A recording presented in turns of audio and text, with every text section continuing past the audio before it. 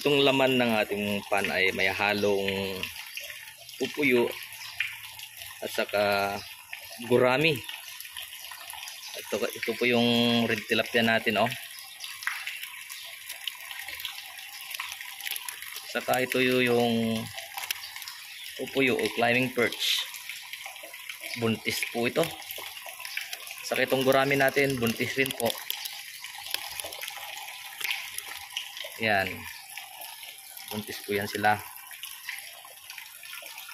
Halo-halo po, tatlong klaseng isda. Tilapia. Yung tilapia naman is dalawa. Ah, dalawang color, black and red. Saka itong gurami. Saka itong pupuyo. Yung linagay natin sa ating ah, concrete pan. Oh, so yun na nga, nag-drain tayo ng ating tubig dito sa pan para malinisan rin. Kaunti na lang yung naiwang tubig. Yung tubig na para lang masurvive na lang sila. So itong pan natin, hindi lang black and red tilapia ang laman nito. Mayroon po itong gurami at saka pupuyo or climbing perch. Ito yung mga isdang local dito sa ating ating area kasi malapit kami po sa Liguasan Mars dito sa Maguindanao. So ito po yung mga favorite ng ating mga lokal dito sa ating ang mga pupuyo o climbing perch or yung gurami. Itong ating gurami at saka pupuyo dito is halos buntis na po sila. So I think one of the reason na hindi siya nangingitlog o nanganganak is itong tubig natin. Masyadong malamig para sa kanila.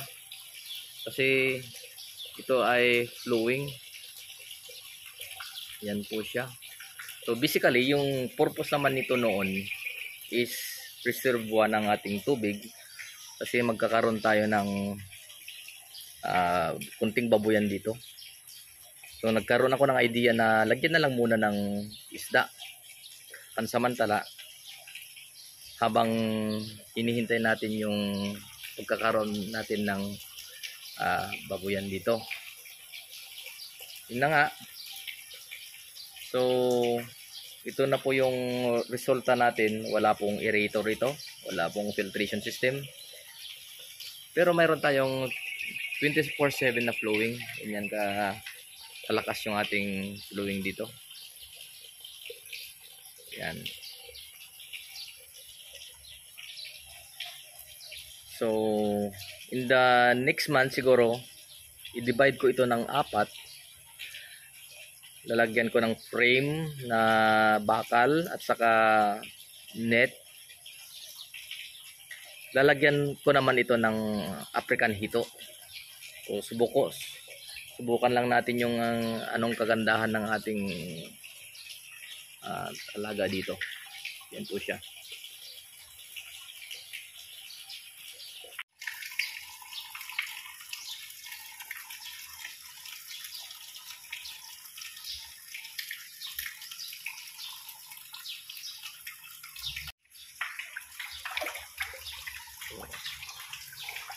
natin.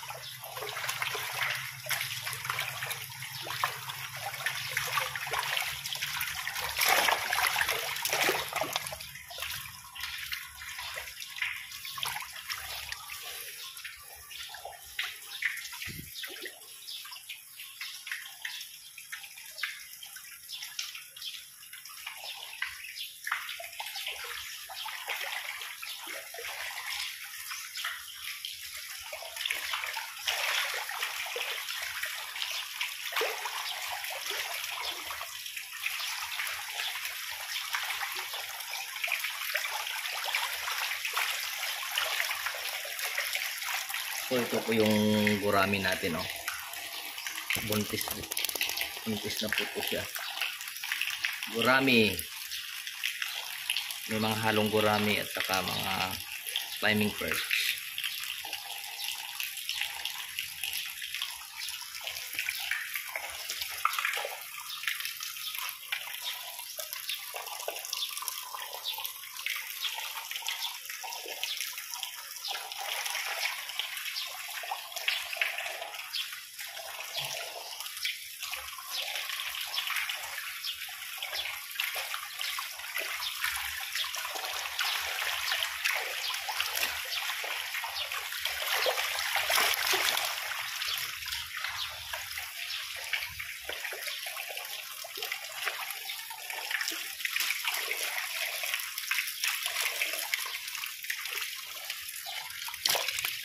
Ito naman yung red tilapia.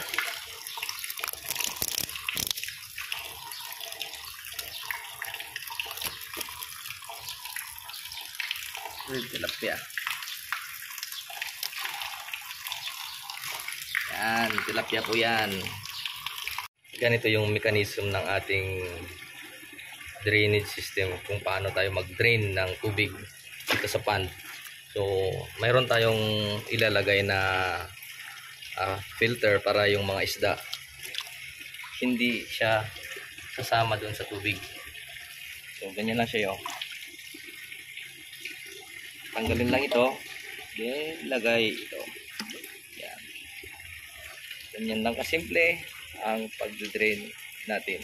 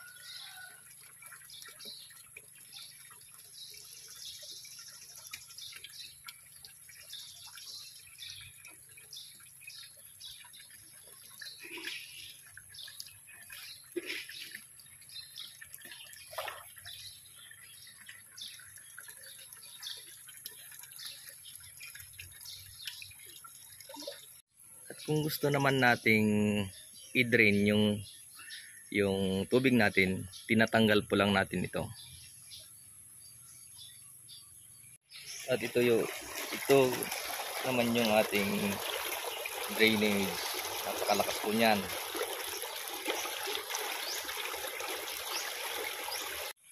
At dito mayroon tayong tinatawag na overflow ng ating tubig.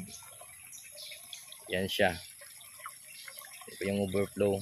Lahat ng mga waste na nandyan sa top halos nahihigop ng ating overflow.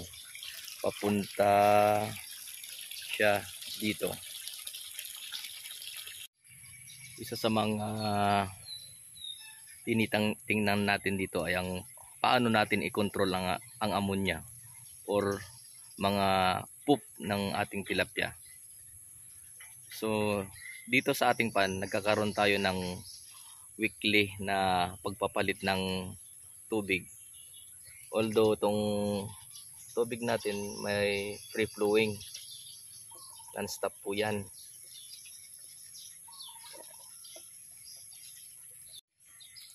Ito yung concrete pan natin na may sukat na 4 by 8 meters at may lalim na isang metro.